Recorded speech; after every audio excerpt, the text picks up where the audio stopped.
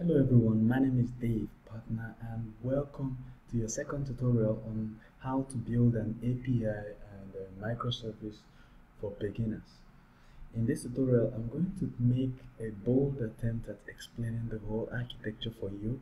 No explanation is perfect. You can always go online to read more to get more information. And um, if you have anything to add to this explanation, so that others will read and understand or anything to point out, please add them in the comments below this video. I read every comment. All right. So the first thing, um, here are some terminologies you have to know. I, the further more terminologies will come on along the way. I'll mention them as we go on in the video.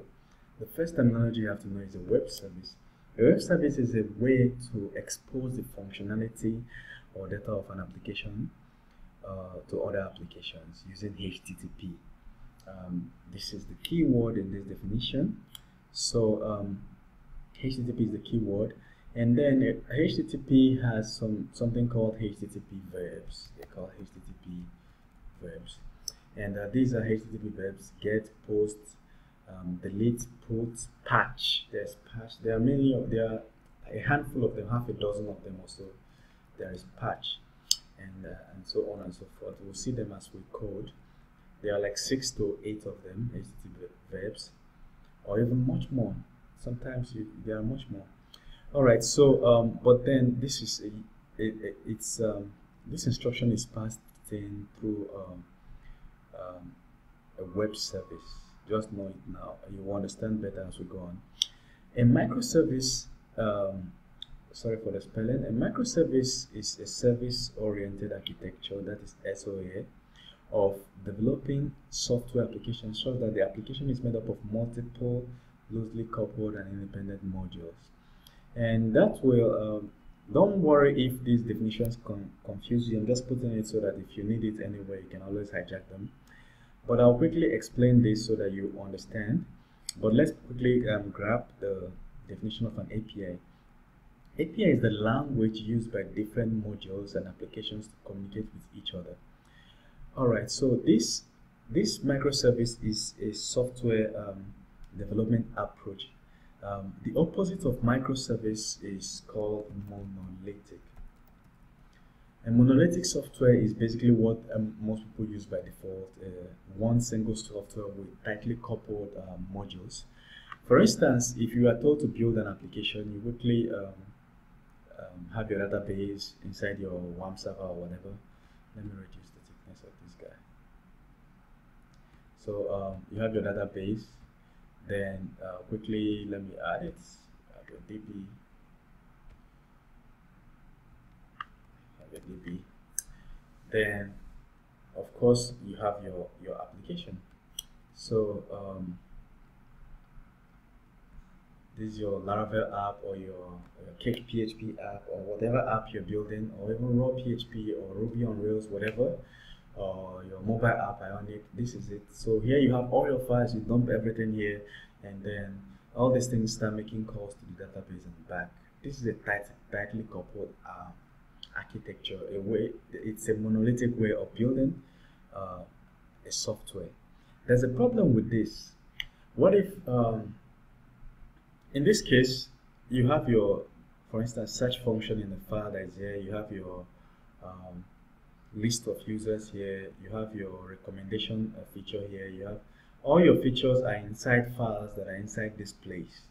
There's a problem with this. What if users are making so much search more than every other feature? Sometimes uh, your users are using more feature way way way more than every other feature.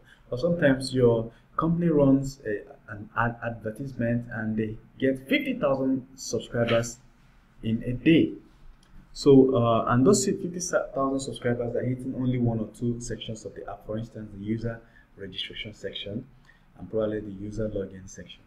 What do you do?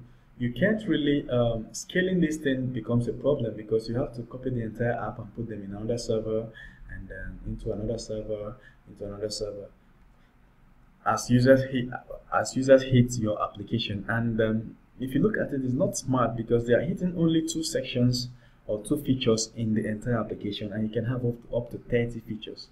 Just because of the ad campaign you're running you're getting so many sign-ups and logins and then that's it. So what if you could just um, isolate this sign up and uh, login such that you have um, you put it on a separate server? Would have been nice wouldn't it? So um, I'll show you how it's that is where microservices come in in microservices these things are are loosely coupled. It doesn't matter, it mustn't be one database. So in, in a microservice architecture, you have, um, oh, let me get this, let me get this. In a microservice architecture, you have one module called your user module. Um, we could call it um, user list module. You can just say user list. So what this module does is get the list of users, simple, and that's all it does. So you have another module that does um, uh, user sign up. So what this module does is user sign up, user sign up, and that's all it does. That's all. So that we'll have one more module, and um, just to make you get the picture, one more module and uh, what it does is we just say that the third module just does uh, user login and that is all it does so we have uh, a user login and uh, that's all so if you want to build an app this is not even our main application this is just uh, we've just uh, built a different modules and we've not built the main application. So let's say that these different modules make up um, our microservice. So we now want to build an, a mobile app. This microservice is independent, sitting on the cloud there. Let's say, I'm just going to put a circle on it, but uh, that's not really ideal for this explanation. Let's just say that these guys are sitting on your cloud somewhere, and um, you want to build a mobile app. What do you do? you just uh, quickly start building your mobile app let's call this your mobile app and your mobile app needs to make use of two features which is user login and user sign up what does it do it collects the user email inside the app collects the user password then it passes it to this particular um, module this module processes it and returns data back. So what this guy uh, basically does is pass data to this module. This module returns data back. And then the, data, the data could be, yes, we've registered a user, uh, the user has been successfully signed up. Okay, um, let's just do sign up. So it passes the email and password here and probably user city, user, user um, gender, height and stuff. Passes this data up to the user sign up module the user sign up module processes it and returns data back. And the data is usually like, okay, 200, okay, or like, yeah, the, the, the query was successful and the user has been signed up successfully. Then it can return the details of the user. So what this mobile app basically communicates with this um, using something called an API. The API is the language that is being used for this communication. It's called an API all right? It's a to and fro um, method. Then the instruction being passed on is the the get post and put. But then you may be asking how would this guy um, make a call to this particular module instead of this or that? It's called an endpoint. So let's say that these whole modules are hosted on on dave partner.com slash so user sign up slash user signing up.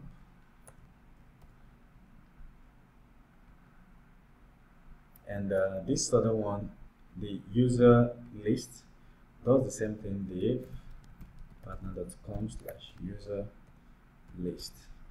And the final one is the partner.com slash user login. All right, so um, we have three modules and these guys are called endpoints we have endpoints So uh, we've coded in our application that if somebody visits this URL, they are trying to get the list of, if, if somebody visits user list, they're trying to get the list of users. So we can say inside this uh, module, we can say that somebody can only get the list of um, users here if they are using a get request. All right. Then here, user sign up, we can say we can only accept post requests or puts, depending on what you want. User login, we can only accept post requests. So depending on what you want, we'll, do, we'll go in depth into all this. So if this guy, this mobile app, let me just call it a mobile mobile app. It doesn't matter what uh, this architecture was built, it's completely independent of what your mobile app is being built with or what your website, you can build a website that will make a connection to this. So let me quickly drop, uh, draw your website. So you can build a website that will make a connection to this. So let's say this is your website.com. All right. So, um, and so many other people can build their own architecture, their own uh, software applications that will make use of these uh, modules, all right? So, um, it doesn't matter what language, you could use Laravel to build this, and somebody is using Ionic to build a mobile app, and somebody else is using Cake PHP to build this website. You understand? It doesn't really matter what, um, it, the, the, the software technologies are independent of each other. The only thing is that the language is what is common and the language is called JSON or XML.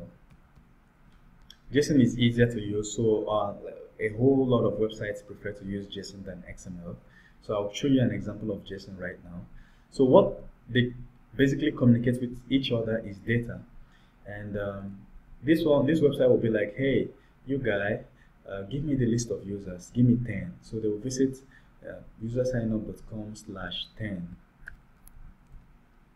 and um, bang, this guy does the process, retrieves the list of 10 users and passes it to this other guy. And then this this other guy receives the list of 10 users, then displays it on the site, and that's uh, the list of your 10 friends. Somebody else does sign up, somebody else does login. I should have put this 10 here. So somebody else requests for login. So um, the different applications you're building are calling this. So if you are building an application in which you're going to end up building a mobile app for it and end up building different websites for it, you better think of it in a microservice architecture way. You understand? So build the microservice first, all the modules, you build out all the write out all the functions for all your endpoints, and then you start calling them from your mobile app. So each of the website needing using making calls to this um, service may never have to use a, a, database again. So only one app using one database and different apps are connected to it. It's just an amazing, um, amazing architecture and it's easy. It's so easy to use because you can assign one programmer and say, hey, build the user sign up for me. And uh, the programmer writes the user sign up module and uh, you can test that user sign up module independently. So this, all these guys must not be on the same app. You can just take this user list and build it. Let's assume that this app was built with Laravel. You can take this user list and build it with Cake PHP. When the user sign up, after user sign up, if the user sign up needs to make a call, remember that, these modules can make a call between each other. You understand? So this guy can use a, um, a web service to make a call to this guy and um, gets data back and before passing it to the mobile app. Each of them can make calls to each other and externally too. All right, so let me show you an example of, um, of JSON, a website that you can use to generate list of uh, a whole lot of things, including list of users, list of it's a Star Wars website. Let me show you. All right, here it is. It's called swapi.co. You can visit it and uh, what it does is it has list of all Star Wars characters and their weapons and their galaxies and everything. See people, films, movies, species, and a whole lot of uh, everything from the seven Star Wars theme. So if you're building an application, you need to get dummy data for your application. You can always use this.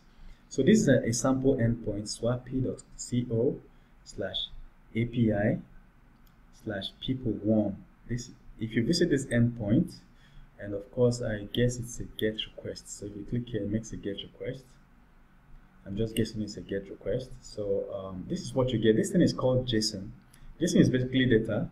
How you know JSON is that everything is different from JavaScript objects in the sense that everything is inside quotes. Both the right and the left hand side are inside quotes. As you can see, you can see this inside quotes. So everything here is a string. Alright?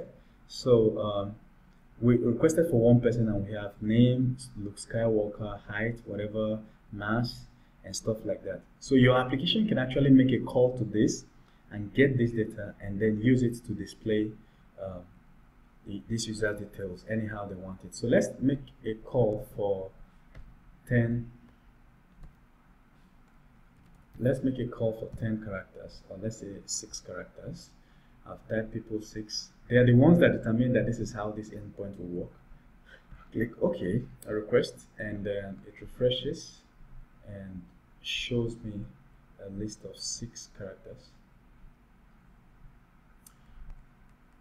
so well if that is not working here let me quickly show you. So we copy this SWAPI swapi.co API then people slash 6 so we'll open a new browser tab type it in there SWAPI and uh, the people 6 then we hit enter. And uh, guess what we are about to get? So it gives us this. So we requested for this and that's what we got oh well I don't know why it's behaving this way so, but that, this is how it works. I'll show you other tools for doing this, but this is basically how it works. Your application visits this URL and uh, it gives you a JSON return, JSON data like this that you can use in the rest of your application. All right. Um, this is just one website. There are many websites for this. I could mention some later on. This is just one dummy website that um, generates dummy data for your app. There website you could just make a call to and you get 10,000 users and um, use it to populate your app temporarily so you can gradually remove it as people um, come in. Alright, thank you very much for watching this video tutorial. Don't forget to like and subscribe uh, my channel. In the next tutorial, I will take you through how to um, build a microservice with Laravel Lumen. Remember that you can use any other platform to build it, but Lumen is the best, best so far. All right. Uh, one more thing I forgot to teach you is that, for instance, um, the microservice is the kitchen itself that produces the food. So this is the kitchen that produces the food, and um, you are the device or the device.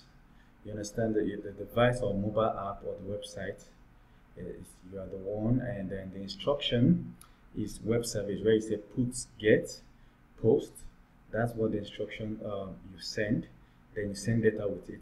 Then the waiter that serves the food is the API. The API is basically the connectivity between all these guys. All right, thank you very much. See you in the next tutorial.